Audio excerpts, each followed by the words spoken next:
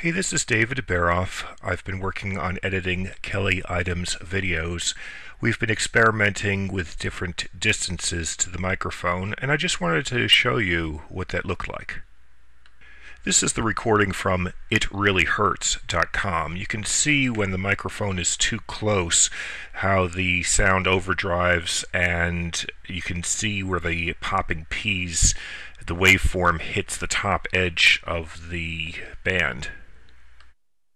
I'm going to help you in just a minute with your pain, if you have any, or if you know somebody who has pain. Here's the opposite problem. You can barely hear the sound and you can barely see the signal. So just go ahead and click on my face now. I tried amplifying 12 decibels. So just go ahead and click on my face now. And then another 12 decibels, but at this point, even though the sound is the right level, the background noise, the buzzing, is a little bit too much of a distraction. So just go ahead and click on my face now.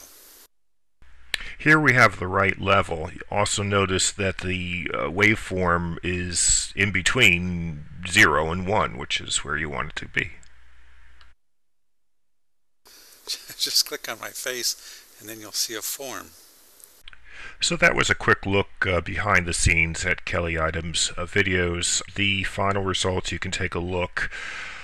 ItReallyHurts.com, Home Remedy Cures Cancer.info. And we've been using Audacity here. The address is audacity.sourceforge.net.